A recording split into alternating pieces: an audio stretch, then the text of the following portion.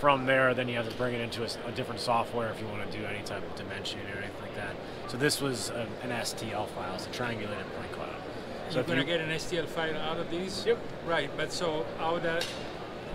Are, are you uh, recording a distance from from your, So- your scanner? it's got the laser lines.